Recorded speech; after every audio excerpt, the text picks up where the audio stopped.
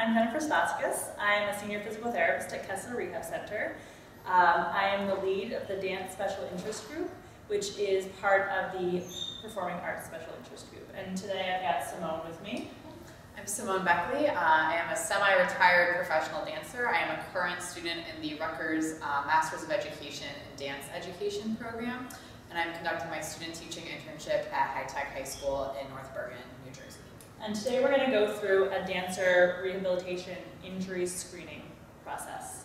Um, so I've had Simone fill out the top half of the screening form already. It lists um, demographics, uh, how much dancing she's doing right now, any other sports or cross training that she's doing, um, some current injuries, and a history of previous injury.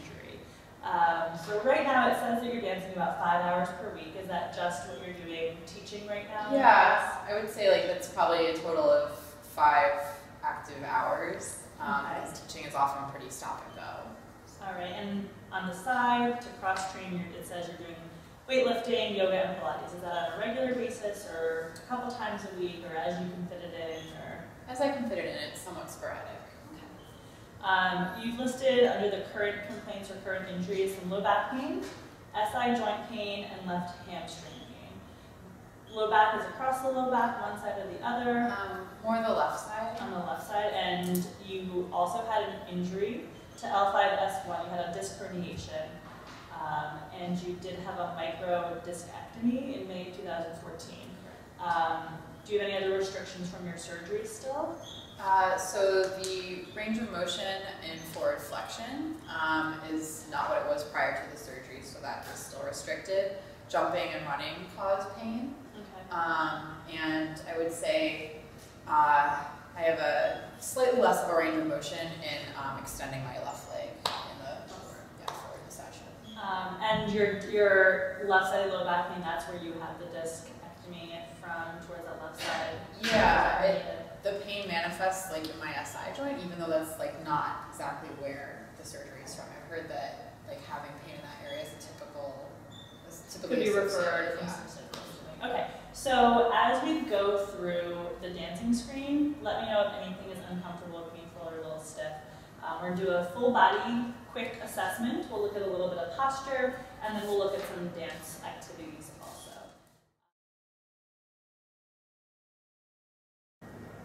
So we'll go through the screen with you facing me, and for the video, I'll also have you face and do the screen facing forward. Um, all right, put your feet together, arms at your side. You're gonna bring your chin down to your chest as far as you can. Very good, and go ahead and look up and back as far as you can. Great. Uh, look over your left shoulder as far as you can, and then over the right shoulder as far as you can. Any pain with any of those motions so far? All right, very good. Bring your left arm, put it to the tip of your right shoulder blade, and then switch to the other side, to the other side. Very good. Uh, the next one, bring your left hand to the tip of your right shoulder on the top, and then the opposite. Very good. You can relax. Anything with that? Put your hands together, dive on down to your feet. Very nice. Come on back up. Pain with that? Discomfort? No, but I went into it pretty slowly, so that's. You felt like you were controlling it Yeah. a little bit. Yeah. When you said dive, I realized I will have to slowly, Slowly dive. slowly dive. Uh, the next one here, you can put your arms by your ears and you're gonna lean backward And let the as far as you can forward. Just lean backwards. as much as you can. Good. Come on back up. Any pain with that? No. Uh, staying where you are, you're gonna have your hands at your side. You're just gonna rotate around to one direction and then to the other direction. Relax. Do that one more time. Just rotate and hold it. Try to keep your knees straight. Do are we letting the hips? Just rotate. Okay, sorry.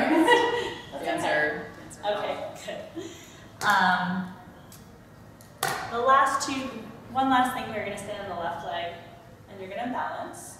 If the balance is okay, go ahead and close your eyes. okay.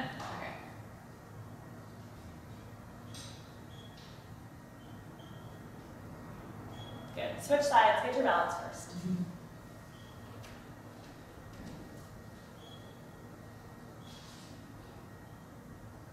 Very good.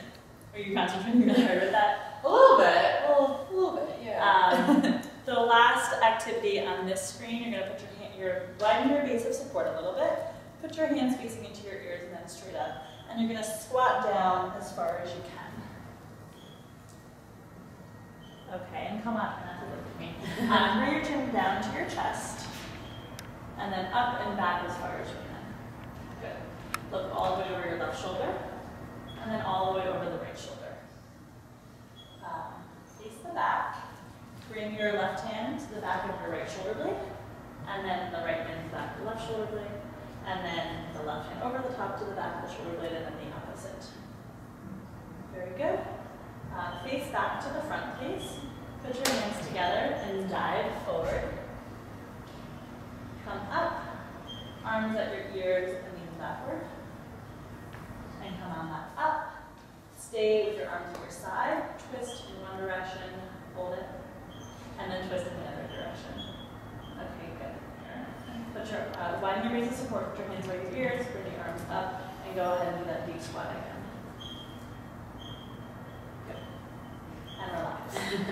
uh, so the, the main thing I saw on the screen was really with that rotation. You were compensating a little bit, and I don't know if that was a, natural thing or a hip tightness or a back tightness. So did you want the legs to be So the, straight? the purpose of the screen is the purpose of the screen is to see how your body is moving normally, Okay, not to cue you so much in how to move. Gotcha. And with dancers, that's very important because dancers want to be able to do it right, Yeah. but I just want to see how your body is moving, and that's probably part of that lower back pain. Yeah, there is like, I do have issues with rotation. I just wasn't sure, I was like, are the hips spiraling or did you want Right, like? so yeah, it's more of a trunk rotation, but we're looking Cool. at the spine, the hips, the knees, the ankles. So if you're getting more rotation by bending your knees and getting your hips into it, that's probably a, comp- a, a natural compensation for which is fine for that's what we're looking for, these natural compensations.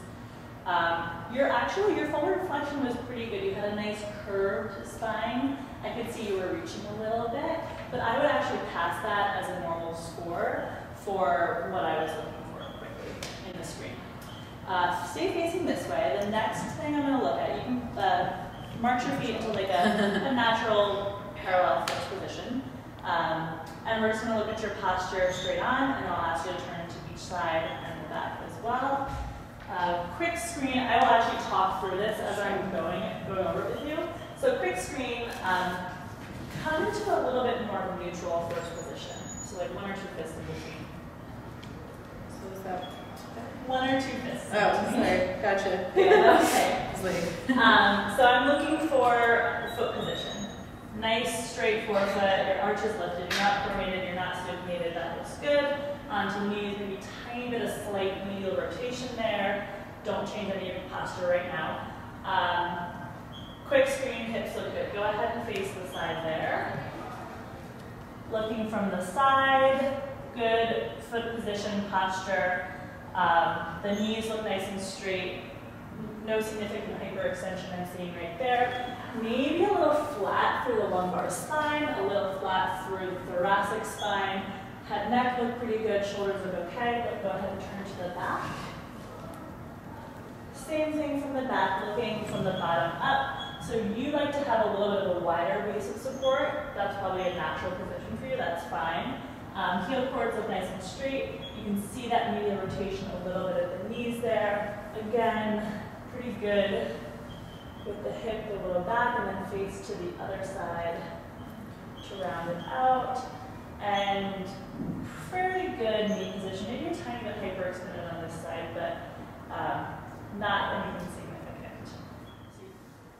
So now we're going to move on to the functional dance assessment. Um, I like to remind my dancers that the activities that we look at are going to be based on ballet positions because that is the root of most dance styles. Um, so even if your primary style is modern dance, we're still going to look at these things for some postural and technical information. The first activity, you're going to hold on to the bar. Uh, we'll do it here and we'll also do it from the side so you can see on the video. The first position turned up first, so go ahead and get to a, a relaxed, comfortable first position. Again, I'm going to talk through some of the critiques as I'm going over it for the video to see.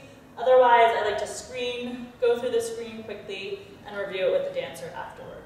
So in our functional turnout, our first position, we're looking for knees lining over the second ray. Um, don't make any corrections yet as we go through. So we're looking for the knee, the tibial tubercle, the, the patella to go through that second ray. Uh, not forcing any tibial torsion here. No overpronation. We're looking for a normal weight distribution. And then from the side, we'll be looking at the lumbar spine to see that there's no increase in that. So just standing here, what I'm seeing right now is that turnout is pretty even. Um, your left leg might be slightly more turned out than your right, but nothing I'm concerned about right now in a quick screen. Your rotation looks pretty good. No overpronation. Ankle, the knees with the ankle. Could probably rotate a hair more, but in general for a quick screen, first position looks very good. Um, from here, you're going to go ahead, let me talk through these and then you can do, but the next activity is a plie. I'm going to look for the knees going over line, over or in line with that second right again. So this is the dynamic version of the turned out position. We're looking for the knees to go straight over that second ray. I'm also looking that the dorsiflexion is a functional dorsiflexion. There's no overpronation uh, from the foot or from the knee-hip alignment. From the side, I'm looking for a straight plumb line coming down. Sometimes I'll do demi-plie and a grand plie, so we'll show both of those variations. And then I'm looking for a normal weight distribution, side to side, front to back. So without using those cues, go ahead and give me a few demi-plies.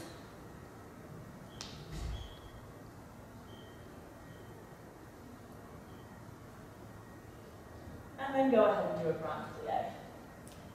Nice and easy and come back up. Good. Again, pretty good, very good alignment. Uh, you can relax your hand. Um, everything was pretty much in line. As a quick screen, I have no critiques for that as well. We're going to move on to the next position. This one I'm going to have you do the position and then I'm going to talk. Sure. So just press up into an eleve or a releve, and you're going to see if you can hold your balance there. Here, and don't feel like you have to hold it the entire time. Here I'm looking for a stable position with the weight distribution right over that second toe, and a nice straight line between the ball of the foot, the ankle, the knee, the hip. From the side, again, looking that the, um, the spinal curve is slight, not too straight, not too um, overcorrected. And we're looking that as she presses up, I'm to press up one more time, that her knees and hips are engaged so that she's maintaining that turned out position. You can relax. The next activity I'm going to look at is a tendu to the side. So go ahead and give me a couple tendus to the side with the right foot. Good. Turn around and do it with the opposite foot, with that left foot. Good, and come back to the, to the front here. In the tendu, I'm looking that she's maintaining her true turnout position um, and not making a compensatory femoral internal rotation. So tendu side should be, come on back, should be straight out from the angle of the turnout and, and maintaining that external rotation. So come back in, show the wrong way, go right out to your side. What happens sometimes, um, and especially younger dancers think that going to the side is truly to the side, but should be probably more in front of the arms and should be straight out from that turned out position. Um, and maintaining the rotation. So I would lessen your side and rotate a little bit more. That looks. Um, turn around to the back one more time. So the other thing that we're looking at here is as she tendus to the side, she's not shifting or sitting in that right side. So close, show it with a shift, and come on back. Kind of sit right back in your hamstring and your, in your heel there as you come to the side. So we don't want that either. Come on back. Pull up nice and tall, and um, go ahead into the, the a good side position as you're lifting. Very good. Come on back. Very good. Turn around. The last activity on here is a little bit more of an advanced technique, a developpe. That's coming up through passe and then extending to the side. So it's like a tendu up into the air. Good, come on down. Turn around and do that to the back also. And come on down. Good. So we're pretty much looking for the same thing with the developpe. Um, a little bit more important with the developpe is, is that shifting. So you want to maintain a stable position in your hips and your trunk. We're looking that the dancer is not hiking her hip um, or doing that compensatory internal rotation. So the positioning is very important, the rotation is very important here, and looking at that, the hip alignment. So go ahead, come up and do it the wrong way. Do it with the hip height straight to the side. A lot of times, and then good, relax, come on down. A lot of times young dancers will hike on the side that they're going to, or even if they're not hiking, they might shift a little bit more to the side and sit, yeah. Um, and then turn around to the back. Uh, just do it regular, and then uh, we're looking for the turn out to come from the hip. So turn back to the front. I'll get right down here. So as you come up through passe, out to the side, we're looking to, yeah, to maintain that turnout. So it may be a little less than you're used to, but to be able to engage the correct muscles. And as they lower, making sure that they're not rotating in, um, rotating the foot in too much as they're lowering too, and they're not deactivating those muscles. Good, you can come back in. So we'll do the assessment one more time from the side. Uh, again, I'll try to run through some of these uh, these corrections that we're looking for. Uh, first position, turn out. Again, looking at the lumbar lordosis. She's already a little bit flat there, but actually when she's turned out, uh, she has a, a, better curve in her lower back. Normal weight distribution side to side, but also from the side, seeing that there's no forward backward, uneven weight distribution. Looking for the knees in line with the ankles, and then from the front, in line with that second ray, and no forced positioning. Uh, go ahead and do some plies.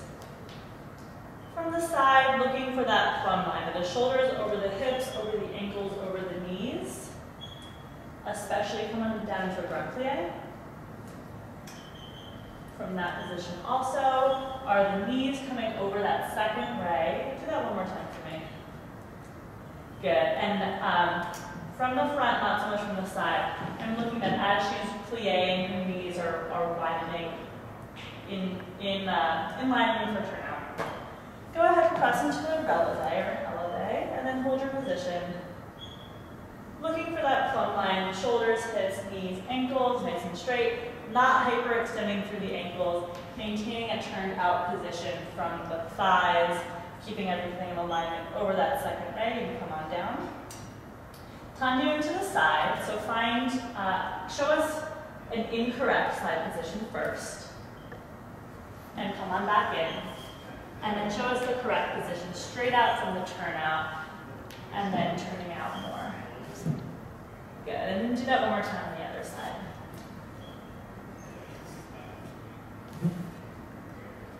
Good. Uh, from there, we're going to look at the, develop, the developpe from the side. So coming up through passe. Good. Looking for the rotation. Come on back down. Do that one more time. Beautiful. Come on down. And then show the incorrect. Good. Relax. And then the other side. Yeah. I could, do you want me to do like a worse? Give me like a yeah. give me a really good hit right there. Yeah. Okay. Very good. And you can relax. Um, so when I'm done doing the screening form with the dancer, I'm going to check off a box on the recommendations down here. As of now, we are allowed to check off uh, one of three options, or multiple. Uh, the first one here is that you're determined to be at low or little risk for dance injury. I would put Simone in that category. Very minor, if any, um, technical issues that are going to affect her risk for dance injury. The second one is you're, you're determined to be at moderate or a high risk for dance injury. And then there is a checkbox in the bottom here to, to discuss the risk factors with your licensed healthcare professional and possible interventions, including PT evaluation and treatment. At this point, I would say, Simone, there are a couple of little things we'll talk about. Um, otherwise, no increased risk for dance injury at this time. Continue doing the cross-training with the yoga and Pilates for some of the back rehabilitation. Um, and then just thinking about some of those subtle postural things with the, with the turnout